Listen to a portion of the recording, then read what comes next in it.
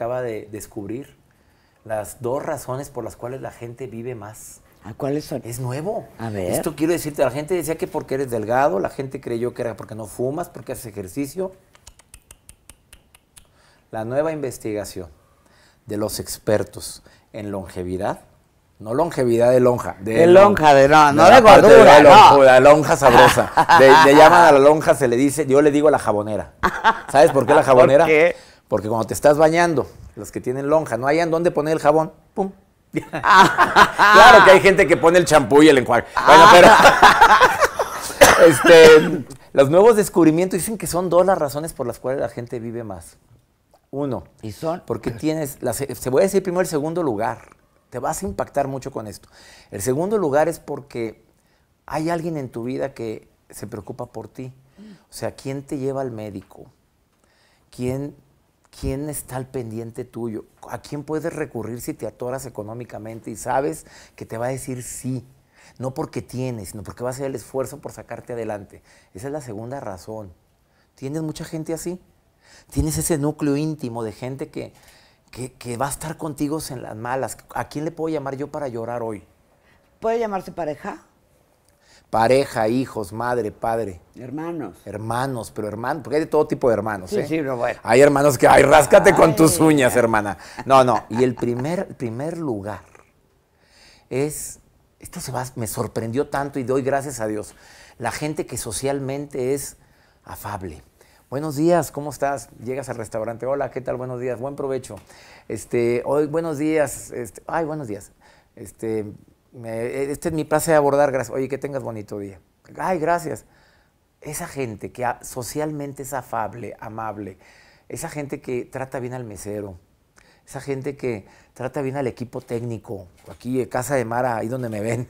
Oye, un equipo de primer nivel, un productor sensible, camarógrafos, eh, una hermana que tienes encantadora. Y, y digo, la persona que te ayuda, Mara, ¿cómo la tratas con tanto amor, con tanto cariño? El que es socialmente amable, esos viven más. Sopas. Yo creí que porque no fumaba, creí que porque hago ejercicio, creí que... No, ahí están los nuevos descubrimientos. Cada quien, si lo quiere aceptar, acéptelo y si no, pues siga creyendo que es otra cosa. La herencia influye, sí, pero yo conozco gente que sus papás murieron de 100 años y ellos murieron de 30. Así Bueno, es y que- es que yo conozco gente que tiene 80, 90 años y, leen, están actualizados, están súper cuerdos, están bien, y están lúcidos. lúcidos. ¿A qué se debe? Pregunto, ¿a qué se debe? Algo comen, algo hacen, algo no hacen. Yo siempre que veo a personas así, yo les pregunto, ¿qué te, no qué te untas, no, qué comes, qué no comes o qué haces o qué no haces. La mayoría de ellos se ríen mucho, chécalos. Y está la viejita risa y risa, y, "Ah, pues no, no como nada, y se ríe. Ya salió la primera razón, su risa linda. Y hay gente de 40, 50 que se ven viejitos. Y no por problemas de salud. No, se ven viejitos Pero porque... bueno, César, es que la preocupación, por ejemplo, eh, eh, que el- la situación actual de repente, pues económicamente no es tan bien o alguna cosa, y son gente de 30, 40, 50 años. ¿Cómo puedes evadir eso? y Porque eso te avejenta. y Sí, te pero enferma. lo que, lo que yo digo a la gente preocupona que es así, ya basta decir es que siempre he sido preocupón. A ver, decía Albert Einstein, si sigues haciendo lo que siempre has hecho, la vida te seguirá dando los mismos resultados. A ver, si ya me di cuenta que el preocuparme me da la madre, si yo me preocupo, ay, no se puede decir aquí palabritas. Sí, Ah, claro que bueno, sí. Bueno, porque ella nunca dice. No. No se conocen. bueno, si sigues, si la vida me ha dado tantos limones, nada de que hacer limonada, no, no, espérame, yo no me gusta el limón, pues siembra naranjas, porque si, te- si la vida te da limones al limonada, no, no, no, no, no. Si me da la vida me da limones y no quiero limón, pues siembro naranjita. La verdad es que si yo me doy cuenta que soy muy preocupón, y lo peor, que la preocupación no sirve para pura fregada. Y lo peor, que la preocupación, entre más me preocupo, más atraigo a mi vida cosas para preocuparme. Eso es cierto. Es verdad, Mara, yo lo viví. 20 años de mi vida. Fui preocupón, aprensivo. Ya basta de que crean que las personas que nos dedicamos a esto creen que no tenemos broncas, que no tenemos miedos, que no tenemos preocupaciones. Yo he cambiado la palabra preocupación por pendiente. tengo dos pendientes que tengo que solucionar. Si no es pendiente porque no puedo hacer nada, ah, no, pues los quito de mi mente.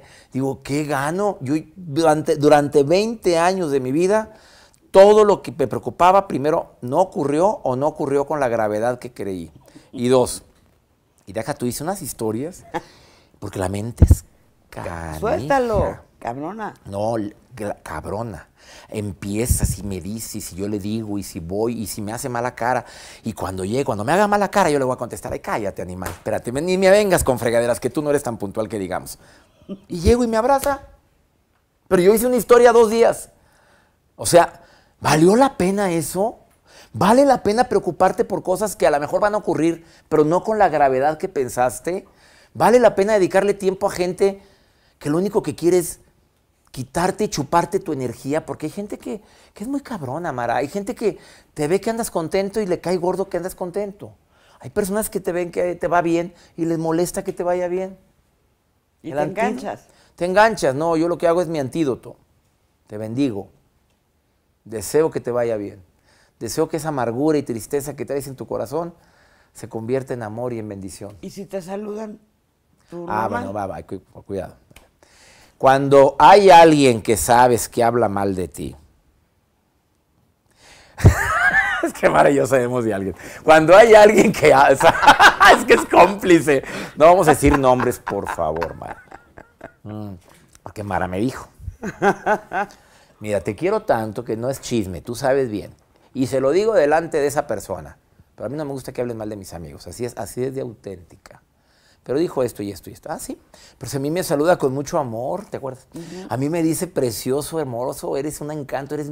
No, dice esto y, esto y esto. Y no vamos a entrar en detalles, porque dedicarle tiempo a hablar de eso es entrar a una inercia negativa. Pero es por la técnica que voy a compartir, de, que me sirvió. Y Mara todavía dice, y se lo digo delante de esa persona, si tú quieres, porque me molestó.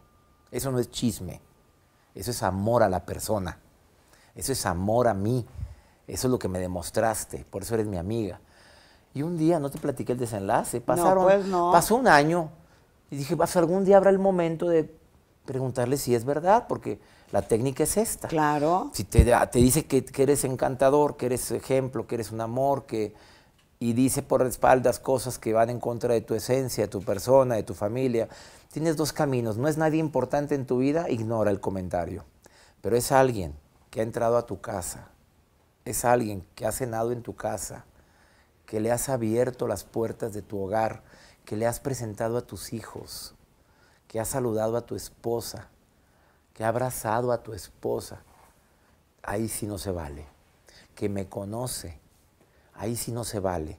Deja que el tiempo te la ponga o te lo ponga. Y cuando te lo ponga y te salude con mucho amor hipócritamente, tú le dices, sé que no es verdad lo que te voy a decir, pero alguien me comentó que tú estás hablando esto de mí.